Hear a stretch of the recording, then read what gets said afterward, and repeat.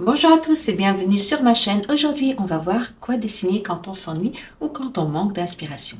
Alors, moi dans ce cas, j'aime me détendre avec des motifs style zintangle ou alors carrément du zintangle.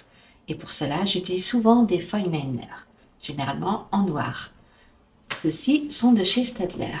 Petite anecdote d'ailleurs, c'est en faisant un petit tour chez Axon, j'y vais rarement, mais quand j'y vais, j'aime bien me promener pour voir ce qu'il y a comme nouveauté, etc. Et donc j'ai remarqué qui avait ces, euh, Stadler. Et j'étais carrément, euh, franchement, ça m'a étonné de les voir là-bas. Du coup, je me suis dit que ce serait sympa de les utiliser dans une nouvelle vidéo. Aujourd'hui, je vais les utiliser pour créer un dessin zen. Donc, on va dessiner une jolie tasse de thé, bien chaud, avec un peu de vapeur qui s'en dégage. Et pour donner une touche unique, on va ajouter un, mot de bienvenue ou alors euh, que ce soit en anglais ou en français, ça dépend, euh, c'est selon vos, goûts. Ce sera un moment de partage, etc. Donc, pour ce dessin, l'idée, c'est de ne pas se prendre la tête. L'idée est vraiment de trouver une occupation quand on s'ennuie. Hein. C'est bien le but de ce dessin. Donc, on ne va pas se prendre la tête avec les règles ou des mesures euh, précises. Comme je suis certifiée en Zentangle, je vous invite à expérimenter la méthode Zentangle qui repose sur la spontanéité. On dessine sans plan, un motif, et puis euh, on va euh, au fur et à mesure développer donc un motif, on appellera un autre. Petit à petit, notre, dessin va prendre forme. C'est une approche qui permet de se détendre et de lâcher prise. D'ailleurs, pour les personnes qui ne savent pas ce que c'est que le zintangle, je vous ai mis le lien de l'article et de la vidéo qui vous explique en détail comment réaliser un vrai zintangle. Donc, je vous euh, propose de vous laisser porter par ce dessin, surtout de ne pas chercher à trop anticiper et surtout de vous détendre. C'est l'essence même du zen. Être dans l'instant présent, dans une forme de méditation créative. Plus vous allez avancer dans votre dessin, plus vous allez vous sentir détendu, presque en pleine méditation. Mais alors, le style que je vous propose aujourd'hui est une inspiration de la méthode Zintangle. Ça va pas être du Zintangle à 100%. Donc, comme je vous ai dit au début, on va s'inspirer de cette approche libre et spontanée tout en y ajoutant notre touche personnelle. Le but, c'est de dessiner sans contrainte, mais avec une attention à l'harmonie visuelle. Et pour cela, je vais je vais utiliser de la couleur pour faire ce dessin, même si cela s'écarte un peu des règles traditionnelles du Zintangle, qui privilégie souvent le noir et le blanc. Et puis d'ailleurs, je vous ai dit, on va s'inspirer du, de la méthode Zintangle. Donc, on va s'écarter pardon, des règles et euh, des mesures, etc. Donc, je vais utiliser cette couleur. Et donc, pour dessiner ma tasse, je vais commencer par tracer la base de la sous-tasse. Je vais d'abord tracer une courbe simple, puis après, je vais dessiner juste au-dessus une autre courbe pour former la, base de la tasse. Alors, si jamais on rate ou quoi que ce soit, je vais vous montrer comment contourner l'erreur. Donc, de toute façon, vous allez voir, je vais faire aussi pas mal d'erreurs. Parce que on n'est pas dans la mesure. Voilà. Ça, c'est une grande courbe. Et juste au-dessus, on va dire 7 cm, je vais dessiner une autre courbe, mais légèrement plus, plus petite. Ensuite, ici, je vais dessiner un trait. Je ne sais pas combien il doit mesurer, mais dans les... Euh, ah, mais on a dit sans mesure. Mais bon, c'est juste pour vous donner une ordre d'idée. 5 cm, approximativement. Ici, pareil. Alors, si jamais, ben justement, elle est un peu plus... Euh, elle est un peu plus allongée que celle-ci, eh bien, je vais la contourner. Mais je vais vous montrer comment faire. Ici, je viens ici et je vais dessiner une autre courbe qui descend comme celle-ci. Et ça va être ma tasse. Donc, c'est une tasse un petit peu, un peu déformée. Hein Donc, c'est pas grave. Le but est de prendre du plaisir, de se détendre. Alors, j'en profite avant de commencer à dessiner ma vapeur. C'est la vapeur hein, quand le thé est bien chaud. On va dessiner ici pour porter la tasse quand même.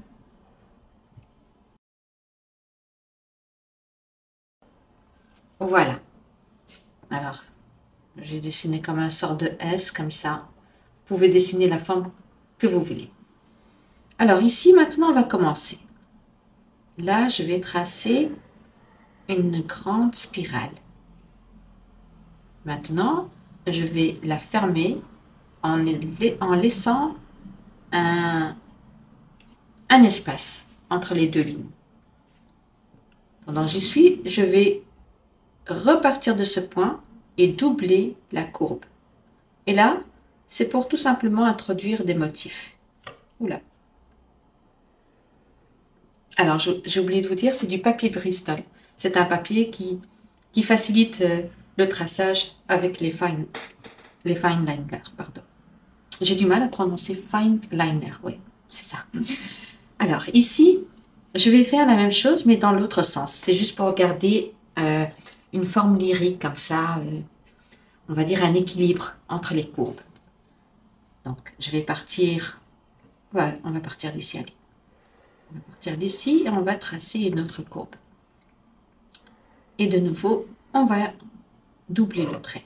Et là, le trait, on ne le voit pas parce qu'il passe juste derrière la première spirale. Ici, pareil, je double mon trait et je peux ici à l'extérieur dessiner un autre trait. Jusqu'ici, j'espère que tout va bien. Alors maintenant qu'on a dessiné la tasse, eh bien, on va compléter notre le dessin de notre de notre assiette, de la sous-tasse. Alors ici, donc normalement, ça va comme ça. Et puis voilà.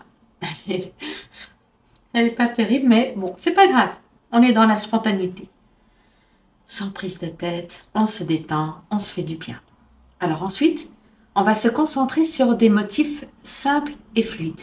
Les motifs euh, vont s'appeler les uns, euh, les uns, euh, les uns les autres, naturellement. C'est la magie du zintan de l'inspiration de Saint-Anne, pardon. Donc, vous pouvez inclure des lignes, des courbes, des cercles ou même des formes abstraites. Faites n'importe quoi, mais voilà, restez quand même dans quelque chose d'harmonieux. Donc, ici, alors, puisque je suis dans les spirales, eh bien, je vais euh, terminer euh, ma composition. Et là, je vais allonger carrément cette spirale.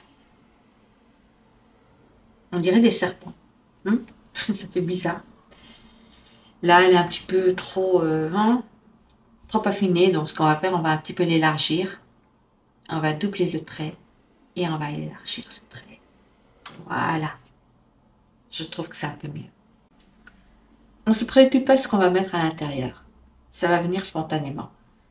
Votre cerveau va commencer, il est en ébullition pour l'instant. La créativité va venir spontanément. Donc, pour, le moment, je ne vais pas vous dire de vous préoccuper, mais euh, focaliser sur la composition, sur euh, ce que vous allez remplir. Ici, par exemple, j'ai un espace plus réduit qu'ici, donc je vais peut-être mettre des éléments qui vont sortir un petit peu. Hein. Alors, c'est de la vapeur, mais euh, subitement, il y a des, des, feuilles qui vont, qui vont jaillir de, de cette vapeur. On est dans l'imagination, hein donc soyons un peu fous. Ici, euh, je ne sais pas ce que c'est, mais bon, j'ai envie de d'élargir un petit peu cette zone. Je verrai après comment je vais animer ça. Ici, pareil. Alors, euh, une petite feuille, ou alors déjà, euh, je ne sais pas, une sorte de queue de serpent, quelque chose comme ça, je ne sais même pas comment l'appeler. Mais je vais la dessiner quand même. Et alors, de nouveau, donc, on ne va pas directement dessiner les, les, euh, formes, comment on va appeler ça, les queues de serpent. on va, au fur et à mesure, dessiner ces formes-là. Parce qu'en fait, elles seront interrompues par d'autres éléments. Alors ici, oui, voilà, alors ici, je vais encore dessiner une autre spirale, mais cette fois-ci, elle va sortir un petit peu, elle est en décalage. Et voilà, vous voyez, il y a des formes qui se chevauchent. Et voilà. Voilà. Ok. Donc voilà. Et ici, par exemple, euh, j'ai euh, un petit espace, donc je vais le laisser. Je ne vais pas surcharger euh, le haut de, de, Parce que sinon, je devrais remplir cette zone. Donc voilà, je continue mon dessin. Donc ici, de nouveau. Voilà. Alors, une autre feuille qui sort ici. Ah, la feuille elle est mal, mal dessinée, c'est pas grave. Ici, une forme un petit peu bizarre.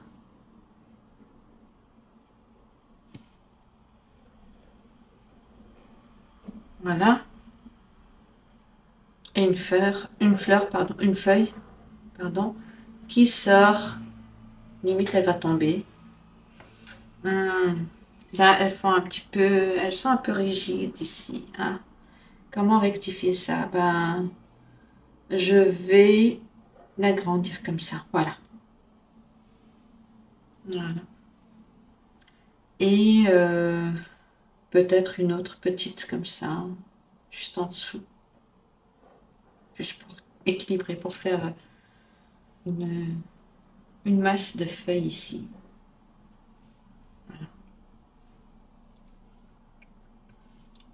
ici, euh, on verra. On verra pour l'instant. Alors, comme j'ai un petit peu, un petit peu d'espace ici et ici, je vais équilibrer un petit peu ma composition. Donc, je vais doubler ce trait. Alors là, j'ai pas intérêt à trembler, sinon ça va être un petit peu moche. C'est pas grave. Voilà. Et ici, je vais écrire welcome. Ouais, je préfère en anglais. Donc, alors maintenant, on commence à animer, à remplir un petit peu notre, notre, notre espace. Donc, alors, ici, je vais... Euh, et à un moment donné, je vais mettre la vidéo en accéléré, comme ça, ça sera pas trop long pour vous. Ben, je vais remplir tout ça. Alors, même si euh, le style est très spontané, le dessin est très spontané, il faut tout de même garder un certain équilibre dans la composition. Donc, euh, comme j'ai fait, laisser quelques espaces pour que le dessin respire. Alors, ici, je continue. Donc, vous voyez, sur du papier euh, Bristol, le feutre glisse facilement.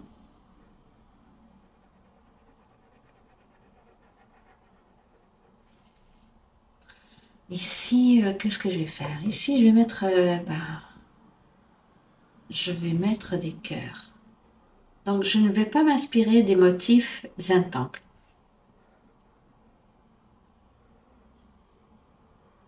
Je vais dessiner des dessins, des motifs habituels qu'on connaît tous, des cœurs, des cercles, etc. C'est juste pour vous dire, voilà, c'est pas la peine de vous prendre la tête que je vais mettre à l'intérieur, etc. Donc voilà, commence avec les cœurs.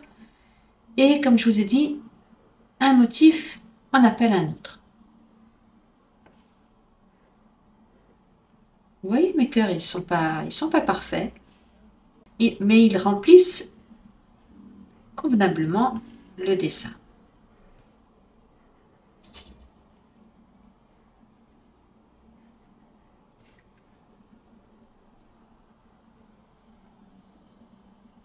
Voilà. Et maintenant, comme je les ai doublés, je veux dire, j'ai doublé le trait, je fais la même chose. Et vous allez voir, avec une seule couleur, on peut créer du contraste. Et ça, c'est grâce au vide, au, euh, au, remplissage, au motif, etc. Ici, vous voyez, je n'ai pas vu, le, cœur que j'avais dessiné ici et ici. Je vais remplir cette zone ici aussi. Alors, pour le distinguer de celui-ci, celui-ci, je vais le laisser vide à l'intérieur, mais je vais quand même dessiner une autre courbe. Et je vais faire la même chose. Alors, que je ne me trompe pas. Voilà.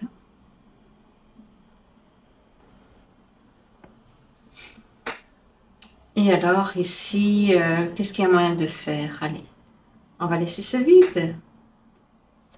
Hum. Allez, je vais m'occuper déjà de celui-ci.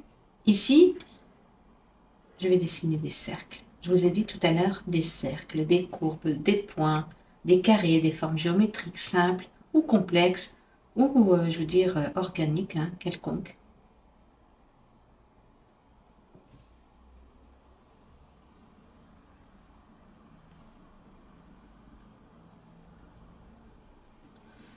Et alors, une fois après avoir dessiné les cercles, je vais remplir cette fois-ci. Et je vais garder les cercles vides.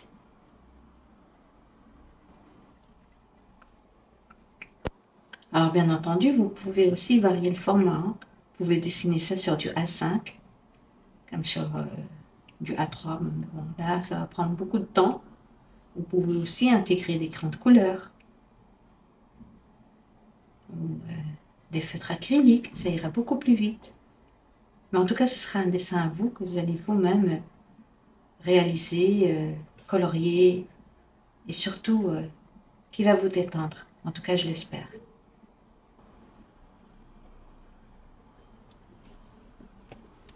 Alors, normalement, je devrais dessiner ici parce que là, je vais glisser ma main. Je n'ai pas pensé, c'est pas grave. Donc, ici, on a une grosse courbe et euh, alors, on va, on va l'animer comme ça avec des, des traits.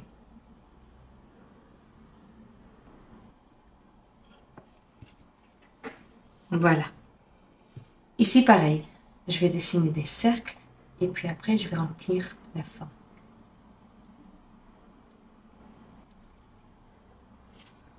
Voilà. Et ici, pareil. Donc, puisque je suis sur ce côté-ci.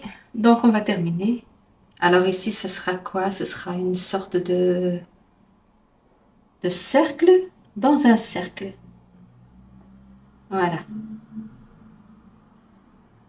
De cercle dans un cercle.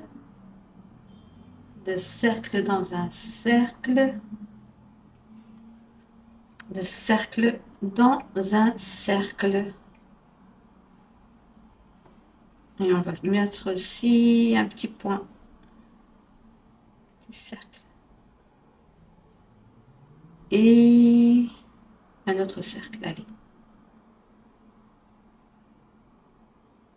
Et maintenant, on va remplir l'espace qui reste.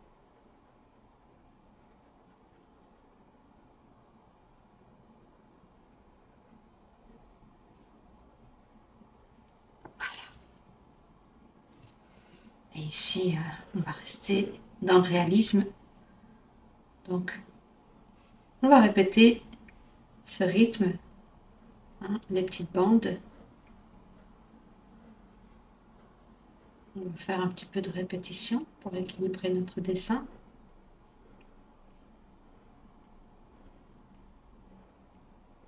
Donc vous voyez ici, ça part d'ici et ça s'élargit un petit peu.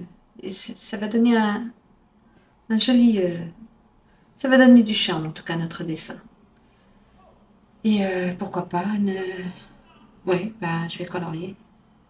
Je vais remplir. Alors ici, je vais dessiner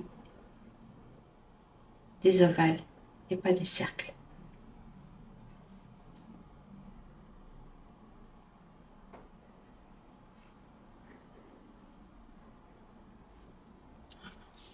Prendre une feuille pour ne pas salir ma main et surtout pour ne pas faire glisser le feutre. Donc je le pose ici. Vous verrez le résultat après. Et euh, ici, je vais dessiner des courbes, hein, des vagues.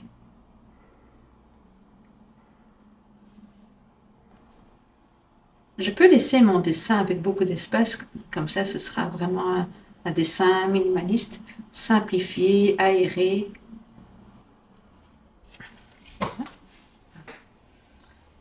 Donc ici, je vais doubler le trait. Je vais de nouveau le doubler. Ici, je vais doubler le trait. Je vais de nouveau le doubler. Pareil.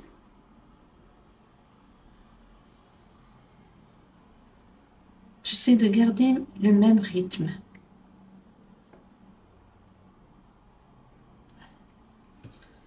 Et ici, par contre, je vais le colorier.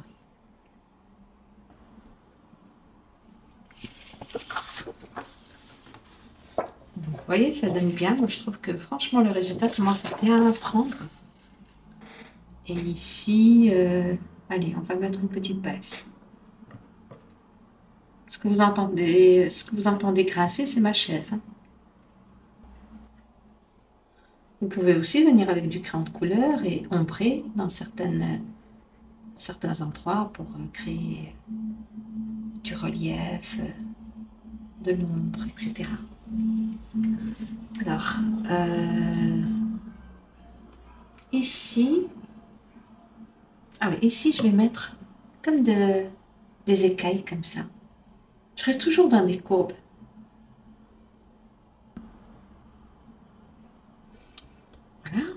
Et alors, je fais la même chose ici, de l'autre côté, mais sauf qu'elles seront un peu plus courtes.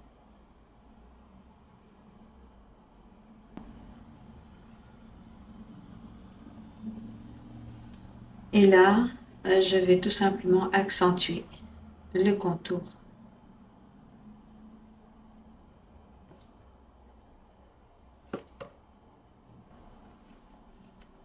la même chose ici. Mais sans trop, euh, je veux dire, élargir le trait.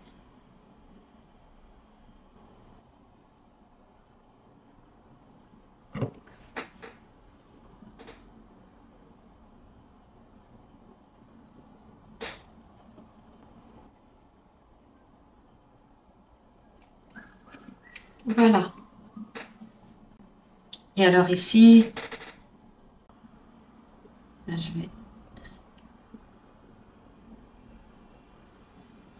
voilà,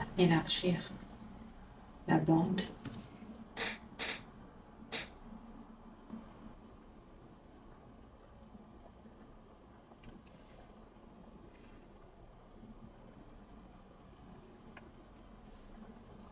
Vous pouvez dessiner une petite bosse, hein, comme ça, si jamais vous avez fait une erreur au niveau de votre tracé, de votre tracé, pardon. Voilà, et puis ça va donner un style. Ok, et euh, ici, euh, bah déjà je vais, euh, je vais doubler ici. Je vais pas le remplir. Pas que ça soit répétitif partout. Par contre, ici, je vais faire la même chose.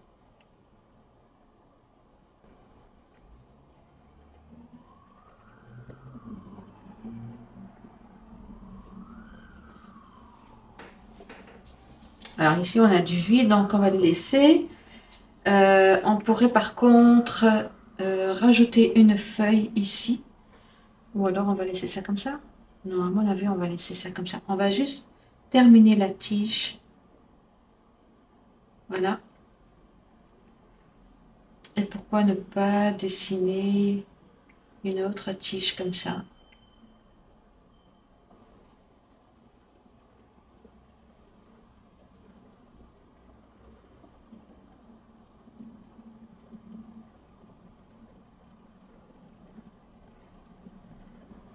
Donc au fur et à mesure, on ajoute des détails tranquillement, sans se presser.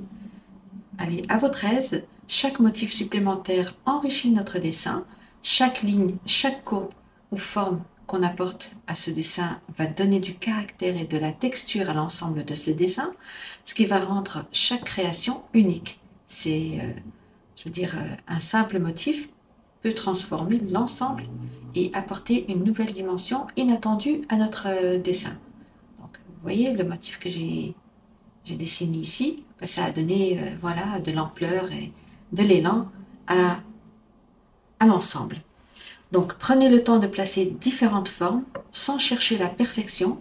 Si vous avez du temps bien entendu, euh, vous pouvez colorier certaines zones avec des crayons de couleur ou vous pouvez même utiliser de l'aquarelle, pourquoi pas pour créer euh, voilà, de, la matière, euh, de la fluidité, ou alors euh, si vous utilisez par exemple la peinture acrylique, vous allez créer plus de contraste et de la profondeur. Donc le coloriage peut souligner certains éléments et créer plus de contraste, comme je vous disais. Donc, donc, le jeu entre les zones remplies et celles laissées blanches va apporter du dynamisme et, et surtout un équilibre visuel à votre dessin. Et si bien sûr l'inspiration vous permet, euh, pourquoi ne pas aller euh, trop loin et, remplir euh, toutes les zones vierges si vous voulez. Mais pour moi, ça va vraiment alourdir votre dessin. Donc, moi, je vous conseille de laisser des zones très très aérées, beaucoup de blanc. Ici, par exemple, je ne vais pas trop charger. Je vais dessiner, par exemple, ici, un sorte de mandala ou de demi-mandala. Et je vais laisser certainement cette zone vide, ou alors celle-ci. Bah, déjà, je vais commencer à écrire mon welcome. Alors, je vais rester dans cette courbe et je vais dessiner. Alors, je n'ai pas intérêt à, rater. Bon, moi, tout ce qui est écriture, je ne me suis pas entraînée. Hein.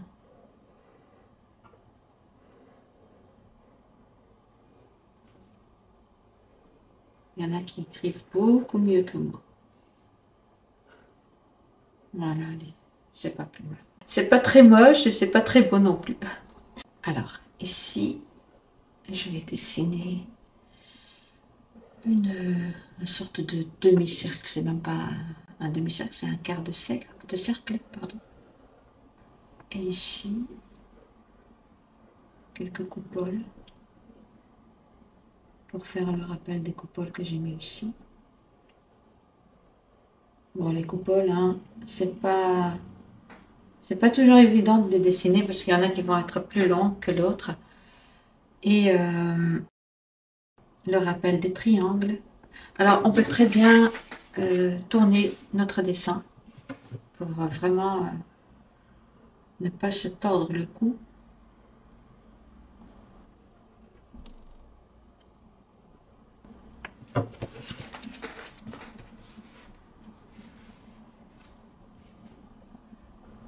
Là, ça va être un, quart de mandala.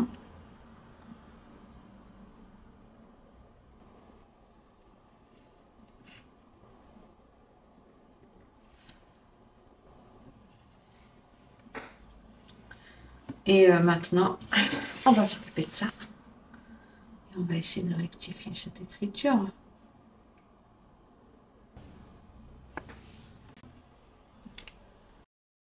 Et voilà, notre petit dessin zen est terminé. J'espère que ce moment créatif vous a donné envie de prendre un instant pour vous, sans vous soucier du résultat final. Ce type de, dessin est une véritable activité méditative qui vous permettra de vous recentrer et surtout de vous détendre. Partagez avec moi euh, en commentaire, dites-moi ce que vous en pensez euh, sur ce dessin, s'il vous a inspiré, s'il vous a donné des, euh, idées pour réaliser dans le même style euh, un dessin d'un autre sujet, je veux dire d'une nature morte ou euh, d'une fleur, etc. Donc laissez-moi en commentaire euh, votre appréciation, ce que vous en avez pensé.